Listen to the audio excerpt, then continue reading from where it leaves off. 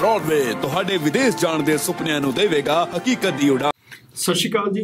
ਸਵਾਗਤ ਹੈ ਬ੍ਰੌਡਵੇ ਦੇ ਇਸ ਖਾਸ ਸ਼ੋਅ ਦੇ ਵਿੱਚ। ਇਸ ਸ਼ੋਅ ਦੇ ਵਿੱਚ ਗੱਲ ਕਰਾਂਗੇ ਟਰੈਵਲ ਹਿਸਟਰੀ ਦੀ।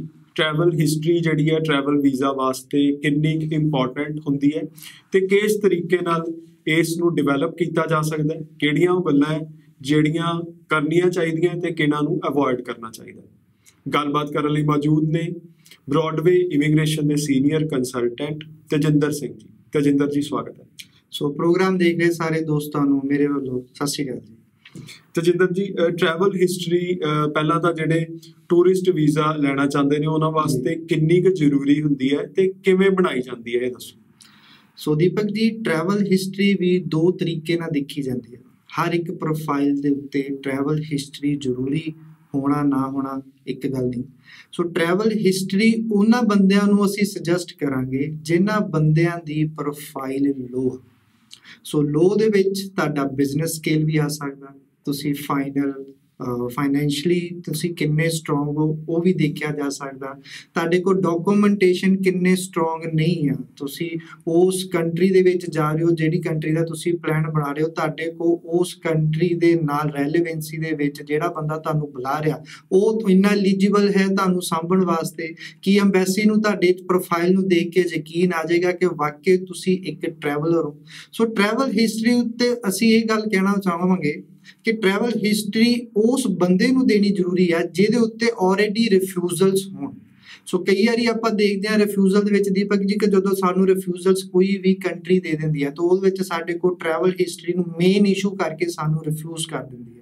ਸੋ ਅਸੀਂ ਉਹਨਾਂ ਬੰਦਿਆਂ ਨੂੰ ਫਿਰ ਜ਼ਰੂਰੀ ਸੁਜੈਸਟ ਕਰਨਾ ਸਮਝਦੇ ਹਾਂ ਕਿ ਤੁਸੀਂ ਕਿਤੇ ਦੁਬਈ, ਸਿੰਗਾਪੁਰ, ਥਾਈਲੈਂਡ ਜਾਂ ਕਿਸੇ ਸ਼ੈਨੇਵਨ ਕੰਟਰੀ ਦੇ ਵਿੱਚ ਜਾ ਕੇ ਤੁਸੀਂ ਆਪਣੀ ਪ੍ਰੋਫਾਈਲ ਨੂੰ ਹੋਰ ਸੋਲਿਡ ਕਰੋ। ਬਟ ਉਹਦੇ ਵਿੱਚ ਇੱਕ ਚੀਜ਼ ਸਾਡੇ ਦੋਸਤ, ਸਾਡੇ ਦਰਸ਼ਕ ਜ਼ਰੂਰ ਧਿਆਨ ਰੱਖਣ।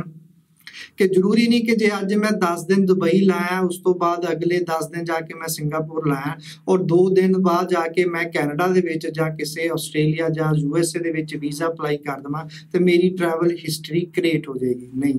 ਸੋ ਟਰੈਵਲ ਹਿਸਟਰੀ ਕ੍ਰੀਏਟ ਕਰਨ ਦੇ ਲਈ ਥੋੜਾ ਟਾਈਮ ਜ਼ਰੂਰ ਦਿਓ ਆਪਣੇ ਪ੍ਰੋਫਾਈਲ ਨੂੰ ਉੱਤੇ ਕਿ ਅਗਰ ਤੁਸੀਂ ਇਸ 6 ਮਹੀਨੇ ਦੇ ਵਿੱਚ ਟਰੈਵਲ ਕੀਤਾ, ਉਸ ਤੋਂ ਬਾਅਦ ਤੁਸੀਂ 6 ਤੋਂ 7 ਮਹੀਨੇ ਜਾਂ 8 ਮਹੀਨੇ ਆਪਣੇ ਕੰਮ ਨੂੰ ਵੀ ਉਹਨਾਂ ਪ੍ਰੈਫਰੈਂਸ ਦਿੱਤਾ ਕਿ ਤੁਸੀਂ ਫੇਰ ਮਨੀ ਨੂੰ ਵੀ ਸਪੈਂਡ ਕਰਨਾ ਜਾਣਦੇ ਹੋ ਔਰ ਬਚਾਉਣਾ ਵੀ ਜਾਣਦੇ ਹੋ।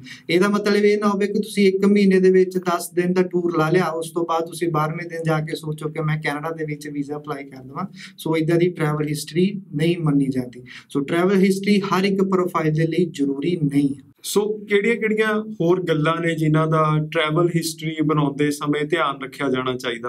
ਸੋ ਜਿਹੜੇ ਬੰਦੇ ਸਾਡੇ ਜ਼ਿਆਦਾਤਰ ਆਪਣੇ ਮੈਚੁਰ ਪਰਸਨ ਨੂੰ ਅਸੀਂ ਜ਼ਿਆਦਾ ਗਾਈਡ ਕਰਦੇ ਹਾਂ ਕਿ ਤੁਸੀਂ ਆਪਣਾ ਟੂਰਿਸਟ ਵੀਜ਼ਾ ਗਾਈਡ ਕਰੋ। ਟੀਨੇਜਰ ਬੰਦੇ ਵੀ ਸਾਡੇ ਕੋਲ ਜਿਹੜੇ ਲੈ ਜਾਂਦੇ ਨੇ ਵੀਜ਼ਾ ਬਟ ਉਹਨਾਂ ਦੇ ਲਈ ਵੀ ਟਰੈਵਲ ਹਿਸਟਰੀ ਮਹੀਨੇ ਰਖਾ ਸਕਦੀ ਹੈ ਕਿਉਂਕਿ ਉਹ ਯੰਗਸਟਰ ਨੇ।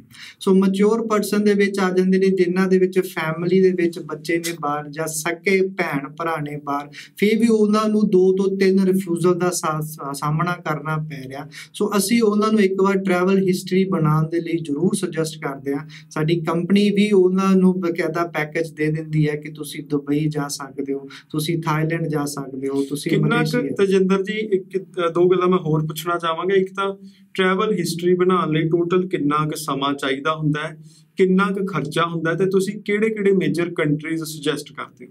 ਟਰੈਵਲ ਹਿਸਟਰੀ ਬਣਾਉਣ ਦੇ ਲਈ ਜਿਹੜੀ ਮੇਜਰ ਅਸੀਂ ਕੰਟਰੀ ਸੁਜੈਸਟ ਕਰਦੇ ਆ ਉਹ ਆ ਜਾਂਦੀ ਹੈ ਜੀ ਸਿੰਗਾਪੁਰ ਮਲੇਸ਼ੀਆ ਆਪਣਾ ਦੁਬਈ ਆ ਜਾਂਦਾ ਹੈ ਜੀ ਸ਼ੈਨਿਗਨ ਕੰਟਰੀ ਆ ਜਾਂਦੀ ਹੈ ਜਿਨ੍ਹਾਂ ਵਿੱਚ ਬੱਚਾ ਆਪਣਾ ਟਰੈਵਲ ਕਰਕੇ ਆਪਣੀ ਹਿਸਟਰੀ ਨੂੰ ਕ੍ਰੀਏਟ ਕਰ ਸਕਦਾ ਕਿੰਨਾ ਕੁ ਟਾਈਮ ਲੱਗ ਜਾਂਦਾ ਇੱਕ ਪ੍ਰੋਪਰ ਟਰੈਵਲ ਹਿਸਟਰੀ ਜਿਹੜੀ ਬਿਲਕੁਲ ਜੈਨੂਇਨ ਲੱਗੇ ਉਹ ਬਣਾਉਣ ਕਿ ਘੱਟ ਤੋਂ ਘੱਟ ਤੁਹਾਡਾ 1.5 ਸਾਲ ਦਾ ਇੱਕ ਟਾਈਮ ਪੀਰੀਅਡ ਬਣਿਆ ਹੋਵੇ, ਜਿਹਦੇ ਵਿੱਚ ਤੁਸੀਂ ਇੱਕ ਤਾਂ ਦੋ ਵਾਰੀ ਜਾ ਕੇ ਘੁੰਮ ਕੇ ਆਏ ਹੋ। ਉਸ ਤੋਂ ਬਾਅਦ ਅਸੀਂ ਉਹਨਾਂ ਨੂੰ ਸੁਜੈਸਟ ਕਰਾਂਗੇ ਕਿ ਹੁਣ ਤੁਸੀਂ ਆਪਣਾ ਕੇਸ ਅਪਲਾਈ ਕਰੋ। ਤੋ ਕੋਈ ਬਜਟ ਵੀ ਤੁਸੀਂ ਉਹਨਾਂ ਨੂੰ ਹੈਲਪ ਕਰਦੇ ਹੋ ਸਾਰੀਆਂ ਚੀਜ਼ਾਂ ਪਲਾਨ ਸੋ ਦੋਸਤੋ ਟਰੈਵਲ ਹਿਸਟਰੀ ਆਪਣੇ ਆਪ ਦੇ ਵਿੱਚ ਇੱਕ ਬਹੁਤ ਹੀ ਇੰਪੋਰਟੈਂਟ ਚੀਜ਼ ਹੈ ਤੇ ਜੇ ਤੁਸੀਂ ਟਰੈਵਲ ਹਿਸਟਰੀ ਕਿਸੇ ਵਜ੍ਹਾ ਕਰਕੇ ਤੁਹਾਨੂੰ ਜ਼ਰੂਰਤ ਹੈ ਕ੍ਰੀਏਟ ਕਰਨ ਦੀ, ਤਾਂ ਬਿਨਾਂ ਕਿਸੇ ਐਕਸਪਰਟ ਦੀ ਗਾਈਡੈਂਸ ਤੋਂ ਨਾ ਕੋਸ਼ਿਸ਼ ਕਰੋ। ਐਕਸਪਰਟ ਦੀ ਸਲਾਹ ਬਹੁਤ ਜ਼ਰੂਰੀ ਹੈ। ਧੰਨਵਾਦ। ਬ੍ਰੌਡਵੇ ਤੁਹਾਡੇ ਵਿਦੇਸ਼ ਜਾਣ ਦੇ ਸੁਪਨਿਆਂ ਨੂੰ ਦੇਵੇਗਾ, ਹਕੀਕਤ ਦੀ ਉਡਾਨ